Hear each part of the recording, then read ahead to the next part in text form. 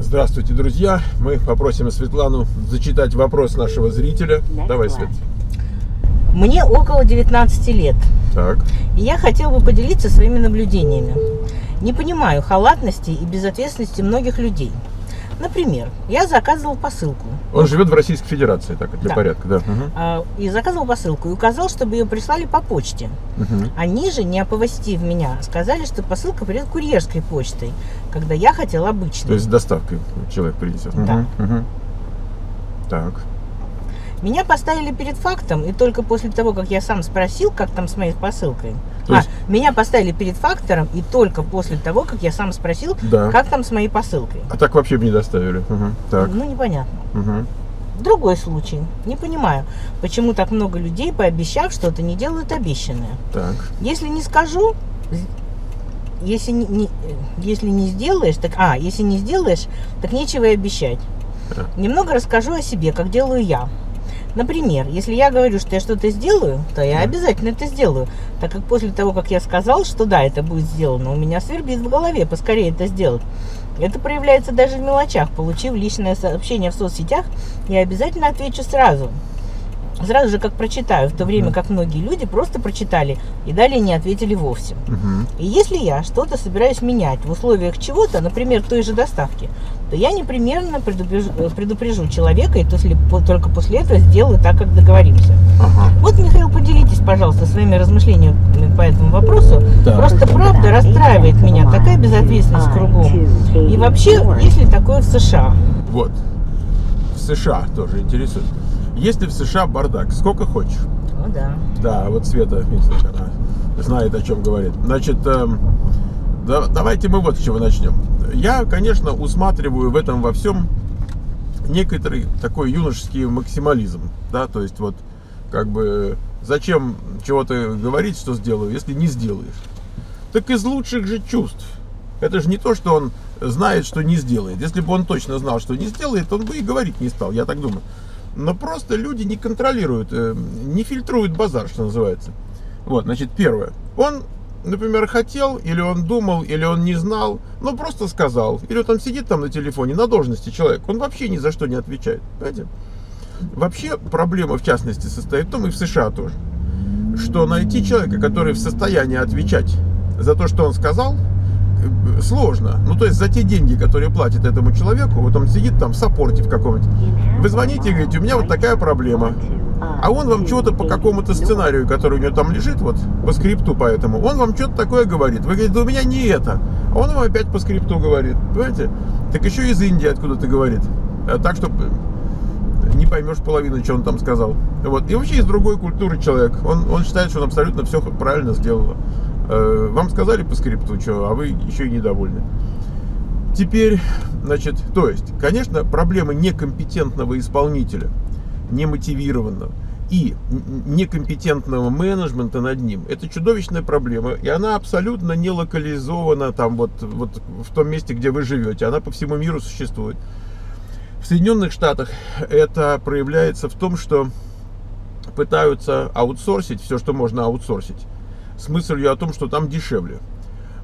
И даже когда вот, казалось бы, такая компания, как Microsoft, да, вот Света не даст соврать, звонишь Microsoft, в саппорт, да, а тебя перекидывают куда-то в Индию, причем это не Microsoft в Индии, а это какие-то партнеры у них в Индии, которые для начала тебе говорят, мы сейчас у тебя пропустим тест, говорят они, ты им даешь доступ, они запускают какой-то тест.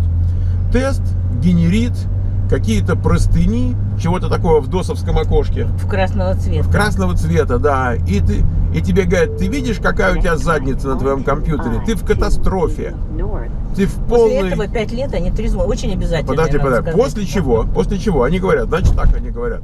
Подписывайся, так, подписывайся на наш сервис. Сколько там? 100 долларов в год? 200? Ну сколько это, допустим, 100 долларов в год. И мы тебе бесплатно будем каждый раз, как что, будем тебе чинить. Ты с испуга-перепуга подписываешься на 100 долларов. Они там неделю пытаются починить, ничего починить не могут. Потому что одно дело запустить какой-то тест, который пишет, может быть, вовсе и не тест, а просто Это не какой-то... тест, это скрипт, который пишет месседжи. Ну, в общем, что-то он такое пишет, да, яв- явно ничего не тестируя. вот, только пугает тебя. А совсем другое дело, чтобы таки, таки реально починить. Я помню, у Светы что-то там какая-то мелочь была, так они не только эту мелочь, они еще поломали там, э, кроме, кроме той мелочи, которую так и не починили. После чего Светлана отписалась от их сервиса, забрала свои 100 долларов. Э, и они уже на протяжении пяти лет да. продолжают трезвонить и трезвонить и трезвонить э, по поводу того, что... Что они хотят? Они хотят, чтобы дальше мы с ними продолжали. Да, они хотят, чтобы мы продолжили с ними наш бизнес. Я просто что хочу сказать. Вот этот мусор натуральный, он э, э, абьюз, да? Злоупотребление, так по-русски, да? Вот мне кажется, слово абьюз, оно лучше отражает, чем русское слово злоупотребление. Вот это вот безобразие, оно как бы сплошь и рядом. Вы будете платить бил э, медицинский, да? Э, Выяснится, что вас про, с вас хотят втрое больше денег, чем на самом деле вы должны заплатить. Э, То есть вы их отобьете. Но если вы будете этим заниматься, вы отобьете. А если вы не обратили внимания, значит не отобьете. М, Если мы начнем по одному разбирать те ситуации, в которых мы были вот с этим бардаком в течение буквально последнего года, да, вы себе просто э, вы подумаете, что нужно сидеть дома, никуда не рыпаться и не ехать ни в какую иммиграцию, настолько это будет все кошмарно. Со стороны. А изнутри это как-то мы привычны, мы внимания особо не обращаем. Хотя, конечно, вот этот бардак э, усиливается. Вот за последние 20 лет бардака стало намного-намного больше. Вы звоните в страховую компанию, вы разговариваете с кем-то, кто вообще понятия не имеет ни о чем. Он вам говорит, конечно, мы сейчас все сделаем. Ничего, естественно, не делается. Потом вы звоните снова. Там сидит другой человек, который, естественно, не знает ни того, ни этого. И он говорит, конечно, мы сейчас сделаем. Потом вы зовете его супервайзера, понимая, что с этими уже нет никакого толку. Но многие это уже перестали звонить просто. Но вот те, кто настырные, они требуют супервайзера. Супервайзер может сказать, да, да, да, да, да, конечно, я сейчас сделаю. Э, Через месяц вам придет по почте стейтмент. Вы звоните через месяц, потому что ничего не приходит. Вам говорят, а того супервайзера уже нет. А в чем вопрос? Вы говорите, ну как же, у меня вот была такая ситуация. Вам говорят, да неужели? Это надо подумать. Э, И вот это вот идет, и идет, и идет. И вот э, я, я не хочу называть конкретные компании, э, с которыми это происходит, но я хочу сказать, что вы эти компании знаете. Их знают во всем мире. Это большие, казалось бы, приличные компании до тех пор, пока ты не начинаешь иметь с ними дело. И сталкиваешься вот с этим чудовищным бардаком, где никто не отвечает ни за что. Ни один человек не отвечает ни за что. И их много. Вот, поэтому к вопросу о том, как в США с этим делом, ну, бардак. Теперь, э, речь шла на самом деле в письме о том, что какие-то люди на таком достаточно низком уровне, э, небольшие клерки там, не в таких гигантских компаниях, зачем обещать, если ты не мог сделать и так далее. Значит, он мог быть просто некомпетентным, безответственным там, и так далее. С другой стороны, вот когда молодой человек, его зовут Сергей, он э, пишет, что вот я получил месяц в социальных сетях, я тут же отвечу. А вот другие там прочтут и не ответят вообще. А вы, Сергей, когда в социальных сетях дойдете до того, что у вас будет в день по 200 месседжей, или, например, по 500, как у некоторых, да, вы обнаружите, что ваша способность отвечать сразу э, сильно подорвана вот этим количеством, потому что вам еще нужно работать или, может быть, учиться, у вас есть друзья, может быть, у вас есть девушка, там и так далее, и так далее. И вы, конечно, можете пойти с девушкой, там, сидеть и отвечать на месседжи, да, пока она будет там одиноко пить коктейль. Вот, но, сами понимаете, э, девушка может найти какого-нибудь другого молодого человека, который э, больше вот на ней сосредоточен, чем, на месседже. Это реальная жизнь. Реальная жизнь э, хороша тем, что она реальна, что ее можно, например, принять такой, как она есть. Можно научиться иметь с ней дело. Понимаете, с выдуманным ничего нельзя, потому что ты себе выдумал, и ты сам с этим имеешь дело, и ты сам относительно себя успешен в преодолении тех преград, которые ты сам себе придумал. А реальная жизнь хороша тем, что если ты научился иметь с ней дело, то ты, в общем-то, успешен не только относительно себя, но и относительно других людей, которые никак не поймут, как иметь с этим дело, или никак не могут принять, что так нормально, и что вот надо с этим жить, вместо того, чтобы ходить, ругаться, критиковать, возмущаться там и так далее. Поэтому, да хрен бы с ними, но вот они не обязательны. Но вы-то знаете, с кем имеете дело. Но вы включите функцию дополнительного контроля. И все. Значит, скажите себе не, одна, не одно обещание, которое мне дают, а, совершенно не обязательно, чтобы оно исполнилось. Нет такого обещания, которое гарантированно будет выполнено. И у вас сразу изменится стратегия вашего поведения. Вы начнете контролировать. Нет такого счета, который вам пришлют из банка, из страховой компании, из как, за какую-то посылку, пересылку и так далее. Нет ни одного счета, в котором гарантированно нет ошибки. Иногда на существенную сумму. И вы начнете совершенно по-другому относиться к каждому счету. Правильно? Вот, у вас как бы изменится э, тактика и стратегия вашего поведения. И вот, вот тут-то вы и э, заживете. Тут-то как-то э, и откроется вам э, птица Феникс. Вот.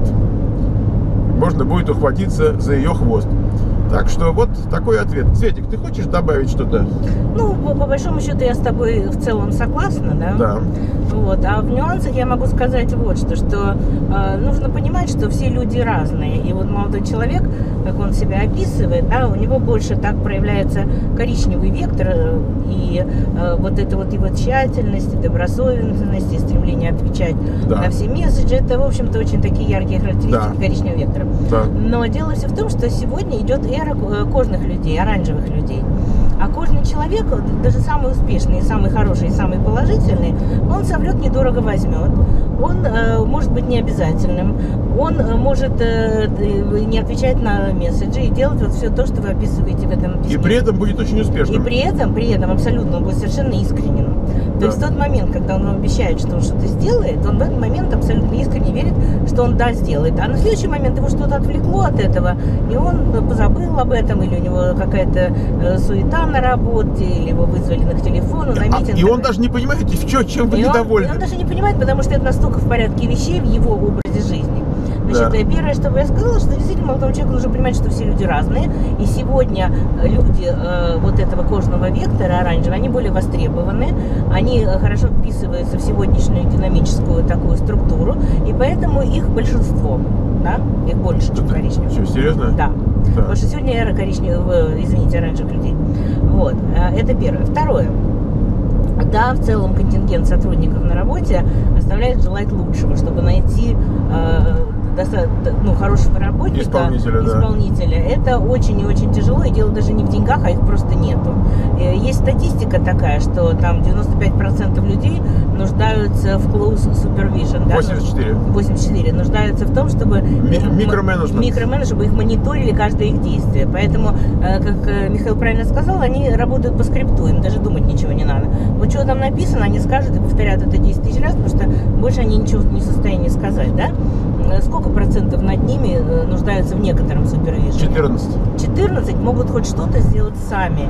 И только 2%. 2% могут что-то сделать это от лидер, начала. Это лидеры. Это лидеры от начала Но, до конца. Свет, на самом деле происходит что? Вот эти 2%, они организуют, вот следующие да, за ними нету, 14. Да, да, вот те 14 работают с двумя. Да, да, да. А потом не, не, не, оставшиеся 14 организуют ну, вот все 84. Да. Да. То есть, грубо говоря, те клерки, с которыми вы разговариваете, это люди, которые ничего, кроме как ответить по заранее заданному процедуре, ничего не могут. В лучшем случае. В лучшем случае, да. да. Если они еще достаточно аккуратные, да? Да. Поэтому, как правильно Михаил сказал, я абсолютно с ним согласна во всем, да. Э, Все зависит от вашего отношения. И можно себе портить жизнь и говорить, вот как же, я не понимаю, я возмущаюсь, меня это беспокоит. Э, ну, а ты не чеши да, если беспокоит. Гондурас свой да. оставь Значит, в покое. Э, так. Вопрос такой, что да, надо понимать, что это все имеет место быть. Да, надо понимать, что все нужно проверять и перепроверять.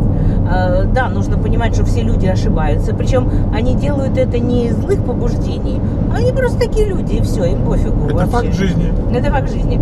Расслабиться, да, и, да. как правильно Михаил сказал, изменить свое отношение к этому всему и принимать соответствующие меры. То есть, если вы да. что-то задерживаете, позвонить, узнать. Более того, сколько раз, вот если говорят устные какие-то обещания, как ты надеешься, говоришь, да-да, конечно, все, приходишь с ожиданием, а он говорит, а что вы о чем вообще? Да, ну, но на, на самом деле, если у человека есть какая-то коммерческая жилка, да, в принципе, он, видя такую конкретную ситуацию, он задается вопросом, а что я могу с этого поиметь, да? А я что с этого могу поиметь? Я же вижу конфликт. Эти люди хотят, чтобы что-то было сделано, те люди не в состоянии этого сделать. Вот, вот тебе бизнес-оппортюнити сразу. Да. Понимаете? Поэтому, значит, э, Ну, в общем, вопрос э, понятен. Я думаю, да, что для для сторон- 18-19-летнего парня совершенно замечательный вопрос. Да, И да. совершенно замечательная возможность задуматься о жизни и что-то в ней такое понять э, хорошее. Потому что хорошее состоит в том, что другие люди не идеальны. Он тоже, может быть, еще этого не знает, но он тоже не идеальный. Вот. И, и вот эта неидеальность создает для нас, для всех возможность жить по-человечески. Потому что если бы мы все были идеальными, нас можно было бы роботами заменить, и никто бы разницы не заметил. Вот. Так что на этом давайте мы и закончим.